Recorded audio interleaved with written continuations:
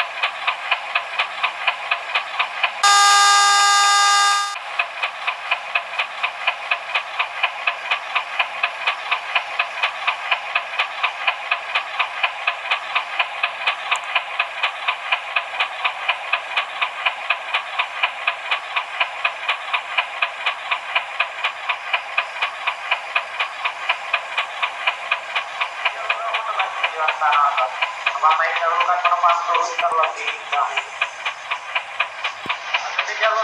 Tujuan tanah penumpang turun terlebih dahulu. Tujuan tanah penumpang turun terlebih dahulu. Jalur untuk tanah dahulukan penumpang turun terlebih dahulu. Dahulukan penumpang turun terlebih untuk tujuan atas.